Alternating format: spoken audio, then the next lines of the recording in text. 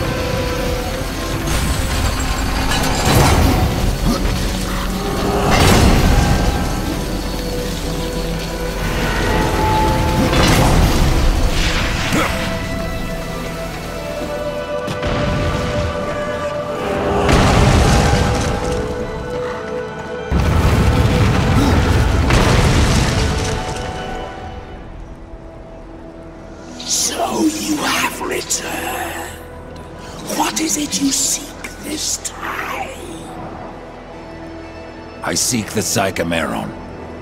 If such a thing were possible, it would surely restore down to your very soul. I have a few to spare. Indeed. But I wonder, are they too old to burn after so many